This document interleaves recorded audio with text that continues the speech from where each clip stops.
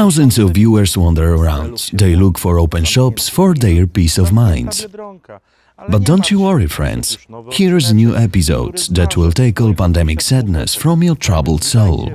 Hi guys, hope you enjoyed my poetic intro. Yes, this episode will be a bit funny, but you should take it really seriously, cause I will show you 10 things that you should never ever do with your car. I'm sure I will surprise you with some. Number 1. Ignoring the level of engine oil. But what do I exactly mean? Okay, so I'm not even talking about this terrible situation when you see that a warning light is on and you don't give a shit, cause I will back to it later. What I mean is checking oil level on a dipstick, cause I'm not sure you're aware of what an engine oil really is for your motor. You will tell me that it's a lubricant. Sure, it provides all rotating elements in an engine, such as a bearing shell, a shaft and pistons, with a lubrication film when they are moving. But do you know that oil dissipates the heat from an engine as much as a water jacket does. And now, ignoring the level of oil not to this point that it's not even on the dipstick, but reducing it by 1 liter until a warning light is on. Cause let's not forget, a red warning light in most cases signifies an oil pressure loss. So when designing an oil sump capacity and all mechanisms of oil lubrication, the producer thought about the amount of oil inside it and about heat dissipation altogether. If there's an oil cooler, sometimes the amount of oil in the whole system can be smaller, but let's keep in mind that reducing this amount will probably result in a temperature rise inside the crankcase. Very few of you actually know that not only a water jacket, but oil as well, play a crucial role. Those of you who take a part in car racing know that all these beeping indicators are to help you monitor your engine. Oil temperature very often reaches 110, 120 or 130 degrees. Exceeding this temperature without additional oil cooling results in a temperature rise of liquid, which leads to engine overheating. So let's not forget to check the oil level on a dipstick, always before a journey and if a warning light is on, it's usually either red or orange, refill the oil tank. New cars probably don't have it, but still, we should never scream on oil. We should always refill an oil tank, cause I know this, know-it-alls, who come to my garage, leave their cars, and then I see a completely dry dipstick. I'm not kidding. I saw it with my own eyes. There's a theory that between a maximum and a minimum on a dipstick there's a liter. I don't know if it's true, but this is what people say. So let's remember to never go below a minimum on a dipstick and to not let the warning light be on. Number two, and we can actually split it into two points, revving a cold engine. I will tell you a story, not a pretty one, but true for most of you. It's summer, nice weather, a party with friends. You get in the car, turn the key and just start driving, not thinking about whether or not the engine is warm enough. No big deal, right? But really, after each engine startup, we should wait 30-40 seconds or even a minute to let oil circulate through the oil artery, so that everything reaches proper temperature and oil has a good density. Only then we can start a ride. Honestly, revving a cold engine, so the moment when you sit in your car and want to show off to your buddies, and tragically for your engine. A bad lubrication film is the first thing, and then all the elements get their butts kicked, rotate being dry and after 3-4 situations like that with your 15-year-old jalopy, don't bother yourself with coming to a car mechanic. Just start grilling sausages for your car's goodbye party. And don't you forget, my dear friends, that no matter how smart you are and how well you know your car, motors are always designed to work at a certain temperature. And as for oil, believe me, if water is 90 degrees, then oil hasn't even reached its operating temperature, so it's really worth the while to warm everything up. Engine rotation is up to 250, this is what is happening inside, guys. That's why proper lubrication is critical. Number 3. You are peeling rubber on a racetrack or, God forbid, around the city, so right after a ride, don't you ever do that. Why shouldn't you apply the handbrake after sport driving? The brakes are hot, so are the brake discs, and it may all melt together. A hot brake disc, you know, materials, volume, and above all, it will lead to a situation that in an hour, two or three, you will start up your engine, take the end brake off, the wheels will start moving, and boom! It may even turn out that a brake block left a dent on a brake disc. This happens in case of a regular braking system, not the sport one. So whatever happens, cool down your car for a while or shift into first gear. Let the brake block be separated from the brake disc. Few people actually know about this, but it's a useful thing. Number 4. My favorite. Alright, alright, one of my favorites. Driving with too low tire pressure, or what's worse, driving on a flat tire. And many of you are so critical of run-flat technology, tire pressure monitoring systems and so on.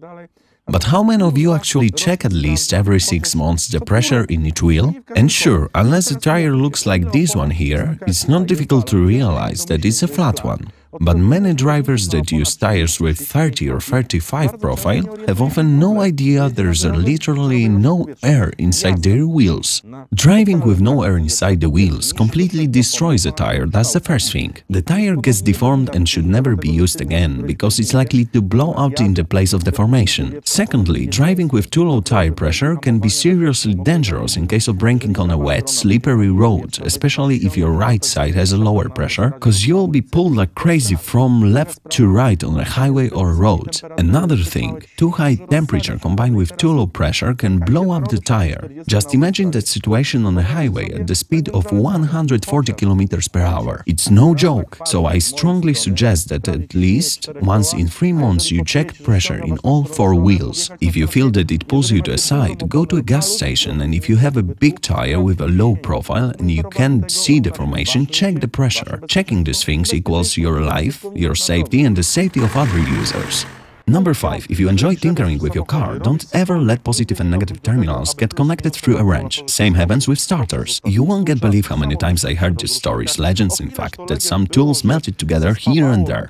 But if positive and negative terminals get connected, it's just 12 volts, so not a big deal, right? Well, not exactly, as sometimes we have 70 ATMs which generate an electric arc, and that's how welding is possible. But is it really like that? Okay, if there's no number 6, it means that the experiment didn't go as expected, so let's just give it a go.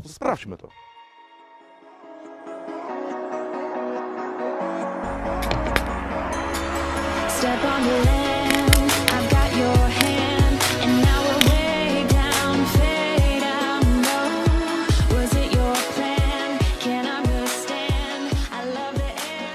Clamps got melted, wrench got melted, so please don't do that at home. Also, that was an old battery used up.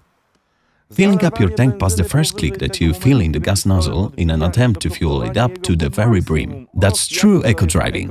Joe Sixpack understands the idea to the core. Oh, and I heard that if I press on a van when the tank is almost full, I will cram even more fuel into the tank. That's the dumbest thing I've ever heard. Manufacturers design the oil venting systems for both petrol and diesel engines so that these systems extracts all vapors that are emitted by petrol. As for older cars with shriveled seals, Filling up your tank beyond the maximum level may lead to gasoline stinking inside your car and will make the whole system inefficient and useless. So guys, believe me, it's really not worth it. Moreover, what's even worse, the whole vent can block up and it can seriously damage the fuel tank. Been there, fix that. Take my word for it. So, we should fill up the tank as much as it's suggested by the manufacturer. Let's not prove to others that if they say 55 liters, we can cram 60. The same goes for LPG gas bottles. They are bigger because there must be some additional additional space inside. So let's not get cocky, let's not be tightwads and fill up as much as needed. You don't have to become a hero in your own home. Leroy Merlin will take care of that. So, when you feel the first click, resist the temptation and stop tanking up. Somebody created the system for a reason and it's not to store up additional liters of petrol. Number 7. Just like 7 deadly sins, the worst thing that can happen to your car. The engine is overheating, the water is overheating. And remember, driving with an overheated engine can lead to permanent damage both in the bottom and upper part of the engine. The motor is kaput. But how can you recognize that something is wrong? First and foremost, if you don't have temperature indication and the warning light is on, you can try out this one, safe option. Turn the heating up maximally, pray to God, and if you feel a strong blast of heat, it's not that bad, cause either your thermostat is dead or the water is leaking. However, if you do that and there's no blast of hot temperature, it's much worse cause it means that the water pump is broken. If that's the case, pull over immediately and don't lift up the bonnet. Why not? First of all, really high pressure caused by a situation when the temperature goes up and the heat is not dissipated can result in hoses or a DTOS explosion and I guess you wouldn't like to open the bonnet and have this kind of Sasha Grey moments. In general, let's remember to check the level of cooling fluid, to not pour water water inside the radiator to take care of the cooling system's tightness and to replace old pumps and the thermostats for the new ones. It will really help us in a long journey, cause there's no going back from the engine overheating. Another reason can be not functioning fans or visco clutches, entire visco fans, but that's a different topic. Driving with an overheated engine is really the worst thing and I know such a smartasses who, when the temperature went up, didn't turn the heating up, didn't transfer the heat through the heater and were planning to enjoy the ride until they would come across a gas station. Let's be clear, it's killing your motor. Aluminium cylinder heads that crack, oh, I could make a whole episode about it. Let's move to number 8. I would like to dedicate number 8 to old masters of eco-driving who don't fuel up their cars unless they really really have to.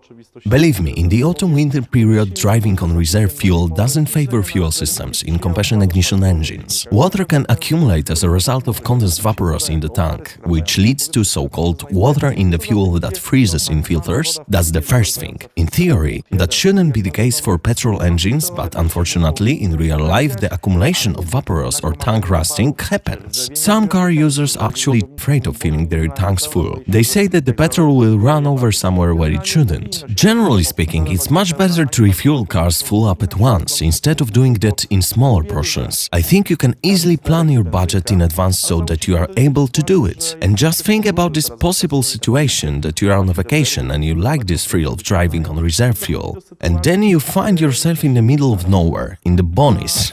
now what? Another important thing is to remember Remember that in case of diesel or petrol engines, if we really end up with no petrol, no diesel in the tank, all this sediment, this disgusting shit gets inside to our fuel system. If it's filtered, nice. The filter will be blocked, the pump smashed or something like that. We often totally forget about it and really we shouldn't.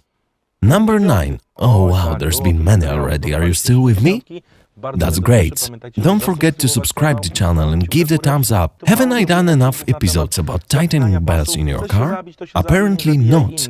If you want to kill yourself, feel free, but don't kill others. And now look, the biggest mistake that you make, the cardinal one, when you are driving a vehicle is doing this thing. You buy yourself such large plates, lock it up and it's a done deal, no beeping. But what's my point here? Let's focus on unfastened seatbelts. If your airbag warning light or seatbelt light is on, then your airbag receives information that it shouldn't explode.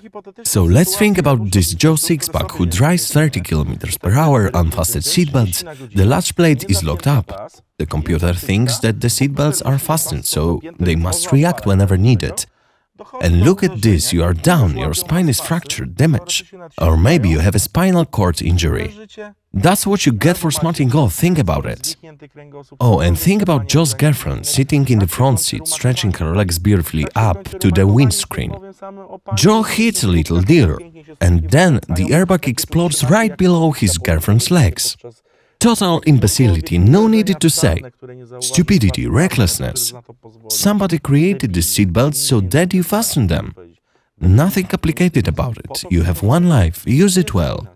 And finally, number 10, cooling of a naturally aspirated engine. Well, it doesn't matter if it's a diesel or a petrol engine if it's not turbocharged. After an intensive ride, when you are killing it on a track day or anywhere else, you must cool your motor engine down. As you've probably seen in my Skoda Superb in some tuned cars, there are often many car gauges, which indicate oil temperature, exhaust temperature and many others. And now remember that if the oil temperature is 120 or 130 Celsius after an intense ride with a natural naturally aspirated engine and you will start the car, where will this oil go? Right to the oil sump. The heat goes up, something bad can happen. There is no cooling at this point, no circulation. That's why you should always remember to cool your engine. The water temperature doesn't equal the temperature of oil. Keep that in mind. And the motor type doesn't matter in this case, not really. Turbocharged engines are always more prone to overheating and burning out. Because if we stall the car, the turbine must still be spinning for a while, but naturally aspirated engines engine's oil will still be hot, so it's best to take it slow, drive slowly for a while and let the engine work, let the fans do their job. It's as simple as that, a very basic thing, but we often forget about it. If you like this one, learn something new, give the thumbs up, subscribe to the channel so you're up to date with everything. Alright, time to say goodbye. Take care guys, see you next time!